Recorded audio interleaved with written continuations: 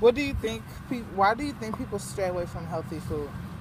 I think people stay away from healthy food when they don't have access to healthy food or it's not the easiest option for them in front of them. And in what ways? Um, what would help you and your family eat healthier? Um, having a garden is a great way for us to eat healthier. Um, and making places where healthy food exists part of our like routine and our like So like going to the farmers market on the weekends, uh, or events in the neighborhood that focus on healthy foods. Okay.